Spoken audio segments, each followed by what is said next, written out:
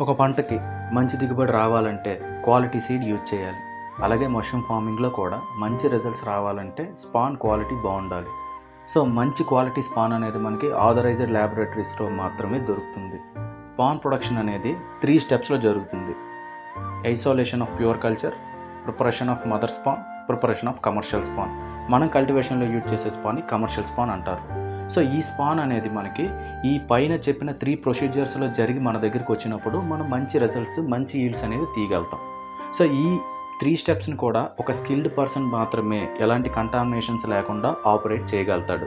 ఈ మధ్య మార్కెట్లో మనకి unauthorized or bad quality spawn వంద రూపాయల లోపలే దొరికేస్తుంది. సో ఆ స్పాన్ యూజ్ చేస్తే రిజల్ట్స్ ఎలా ఉంటాయి అనేది మీకు ఆల్రెడీ డిస్ప్లే చేశాను నేను. ఆ రిజల్ట్స్ అనేవి మనకి ట్వంటీ వన్ డేస్ తర్వాత మాత్రమే తెలుస్తుంది. ఎందుకంటే అది క్వాలిటీ స్పానా అన్క్వాలిటీ స్పానా అనేది మనం విజువల్గా అయితే ఐడెంటిఫై చేయడం కొంచెం కష్టమే. ట్వంటీ వన్ డేస్ ఇంక్యుబేషన్ అయిన బెడ్ని తీసుకొని కేసింగ్ కోసం మనం కట్ చేసినప్పుడు అందులో ఎలాంటి మైసీలియం కొలనైజేషన్ అనేది మనం నోటీస్ చెయ్యం. సబ్స్ట్రేట్ ఎలా అయితే వేసామో అలానే ఉండిపోద్ది. అప్పుడు మనకు అర్థం అవ్వాల్సింది ఏంటంటే ఇది మనం పైన డిస్కస్ చేసిన త్రీ స్టెప్స్ నుంచి వచ్చే స్పాన్ కాదు. స్పాన్ టు స్పాన్ చేసేసిన స్పాన్. ఆల్రెడీ ఎగ్జిస్టింగ్ స్పాన్ నుంచి కొంత స్పాన్ పోర్షన్ తీసుకొని స్పాన్ ప్రిపేర్ చేసేస్తారు. అలా చేసేసినప్పుడు మనకి పైన చెప్పిన త్రీ స్టెప్స్ నుంచి వచ్చే స్పాను ఈ స్పాను రెండు ఐడెంటికల్గానే ఉంటాయి. మనకు కొంచెం కష్టం.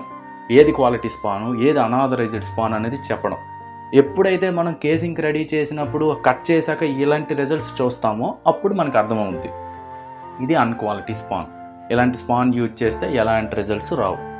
సో ఎప్పుడైనా కల్టివేషన్లో ఆల్రెడీ ఎగ్జిస్టింగ్ వాళ్ళు అవ్వచ్చు లేదా కొత్తగా కల్టివేషన్లోకి వచ్చే వాళ్ళు అవ్వచ్చు. స్పాన్ ఎప్పుడైనా పర్చేజ్ చేసేటప్పుడు అది ఆథరైజ్డ్ ల్యాబా అనాథరైజ్డ్ ల్యాబా అనేది ఒకసారి చెక్ చేసుకోండి. ఇందులో మీకు ఏమైనా డౌట్స్ ఉంటే మీరు ట్రైనింగ్ తీసుకున్న వాళ్ళని ఒకసారి కన్సల్ట్ చేయండి. ఎప్పుడు కల్టివేషన్ చేసినా కూడా ఆథరైజ్డ్ స్పాన్తో మాత్రమే చేయండి.